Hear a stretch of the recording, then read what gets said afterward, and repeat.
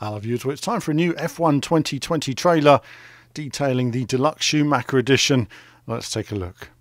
Michael Schumacher made the jump from sports cars to Formula One at the 1991 Belgian Grand Prix and took the world's breath away. The emerald green Jordan 191 was the machine in which history was to be made. At its wheel, the most successful driver the sport had ever known made his debut and made his mark one team and one driver ruled the roost in Formula One during the mid 1990s. The Benetton Ford B194 was, at times, unstoppable. It would take victory in seven of the first ten races to establish the foundation upon which the team was to taste its first championship glory. Its successor, the Benetton Renault B195, was even better and demolished the field to bring the German his second crown and Benetton its first and only ever World Championship. It romped to 11 victories, nine of which were taken by Schumacher. In 2000, Ferrari gave Michael Schumacher the car which would begin a previously unthinkable run of championship success. The F1 2000. A car which would, over the 17 races that year, deliver 10 pole positions, 10 race victories, and crucially, Ferrari's first Drivers' World Championship since 1979.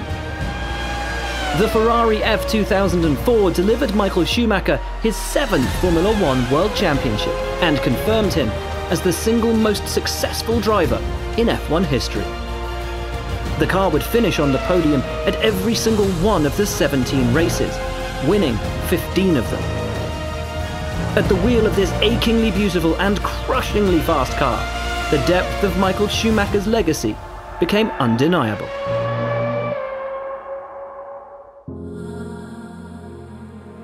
So, as ever, it's good to see the, uh, uh, the retro classic car content coming to F1 2020. Uh, nice selection of cars. I mean, obviously, we've got four cars here.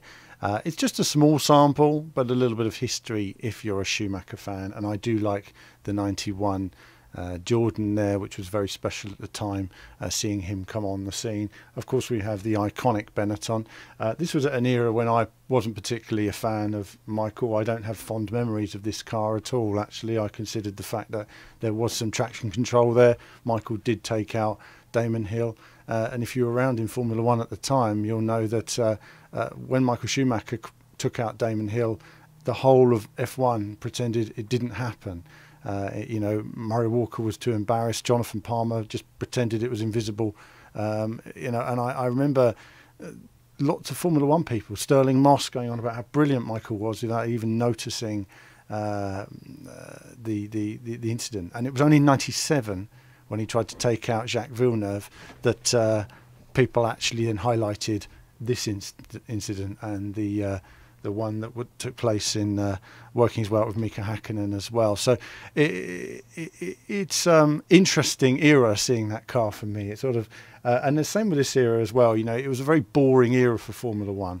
Uh, you know, when we look at these cars and we take a look at the the Ferrari going around there, it it it wasn't an era that I necessarily look on fondly. It was only when you know, sort of Williams sort of gradually got up to speed and Juan Pablo Montoya gave a bit of uh, attitude to Michael that we actually got a bit of racing, and then it was great to see the the Renault of, of, Fernando Alonso coming into the mix and everything. So it wasn't a great era for Formula One, and the fact that he had, you know, Eddie Irvine was stopped from winning the championship, and and Rubens Barrichello was limited in what he could do. He never felt like we had a race.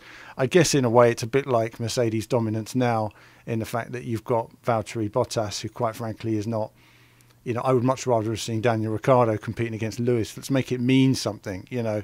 Uh, so these these cars are great cars, uh, but without the tracks and other cars to race against in the era, for me, they're nice museum pieces. I do notice the lighting this year in the game, uh, more so in this trailer, is a lot softer. They've gone for that kind of dare I say it, a bit of an old school Codemasters uh, filter across it. It's very filtered look to it.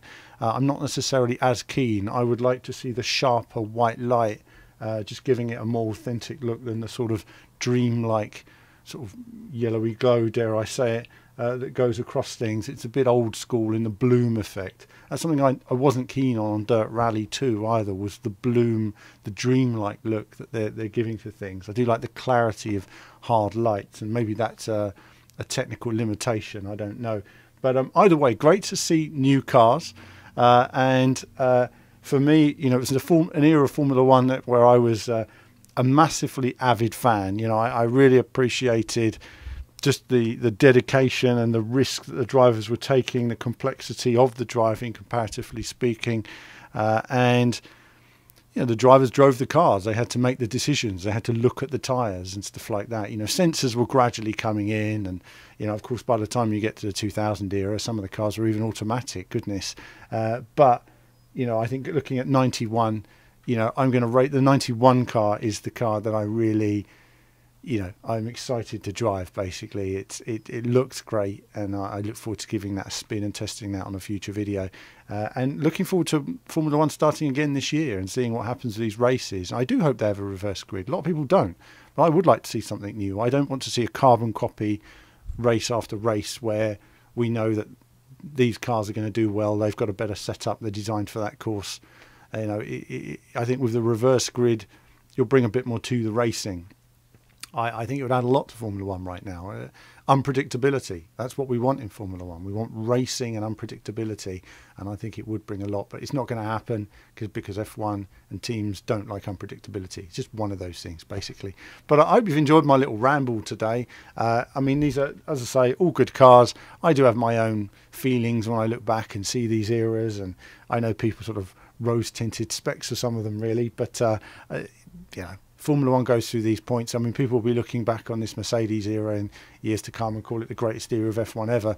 And for me, generally, it just hasn't been. You know, it's been it's getting better. It's getting better, and I think this season actually has more potential to be good.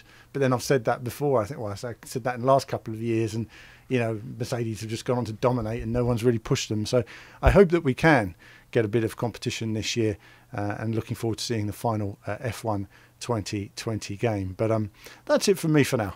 As ever, more soon. Hello viewers, well thanks for watching the video today. Do like and subscribe, it supports what we do. Do become a YouTube member. YouTube Patreon supports all of our content you see on the channel and of course lots of gaming from retro to modern games. I love it all in terms of racing action. So click on one of the two videos just there to find out more.